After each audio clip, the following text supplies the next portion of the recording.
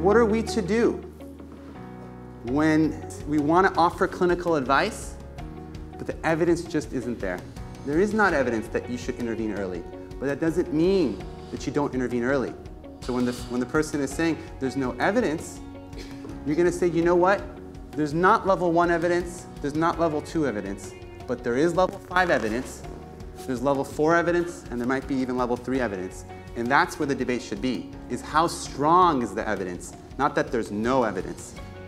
And now the research that we're doing out of the Breathe Institute is we're talking about pairing frenuloplasty with myofunctional therapy in order to achieve those outcomes.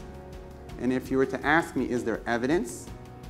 We're starting with level five, level four, and level three, because that's the way we're going to advance the field. It's easy to just say someone has sleep apnea. But let's just take a look and see what this means when, uh, when they're sleeping throughout the night. So this is called drug-induced sleep endoscopy. We force patients into a state of sleep using medicines. And then we can observe to see how they react if we allow them to go into a deep, deep sleep. We're gonna start, we start the study at 4.34 a.m. and we wake up at 2.19. This oxygen level's so low. What's going on? Something wrong with their lungs? What's up? Does that make sense? If you're going to bed at night, you don't want to fall asleep right away.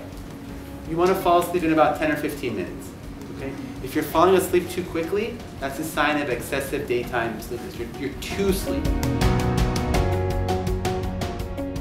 The tongue serves as an important scaffold for the development of the maxillary arch.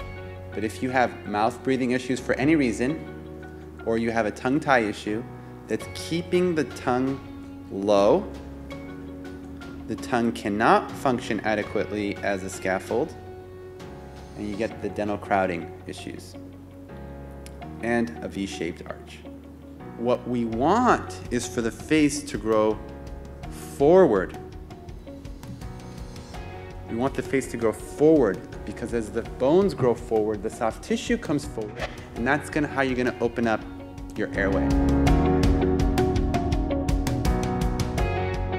So, so if someone's tongue is down, blocking the throat, right?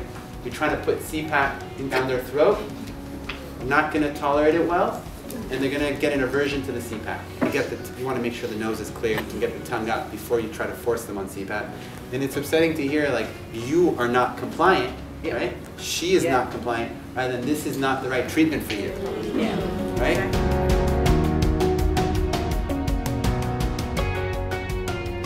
UARS will have apnea hypopnea index less than 5.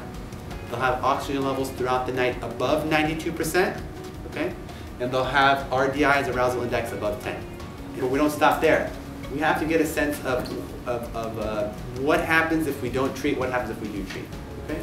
And so you can't say that every patient with UARS is going to have a heart attack, stroke, diabetes, cancer, all these issues. That's not, that's not true. The time spent below 90 is the time that you're at risk of having a heart attack or stroke. So the purpose of going through all this is to kind of show you that there's a spectrum of pediatric sleep disorder breathing. Usually starts with mouth breathing or noisy breathing. And this is usually the first sign that something may be wrong. So here's a kid, maybe like Austin, maybe years earlier, who doesn't have sleep apnea. He never stops breathing. He doesn't lose any oxygen. But look at how much effort he has to do in order to breathe. You cannot be a, a, mouth breather and have your tongue up. It doesn't work. You guys can try it. There's no way you can do it. Okay? And so the most important thing is those three principles that we talked about, right? Uh, nasal breathing, lips together, tongue on the spot.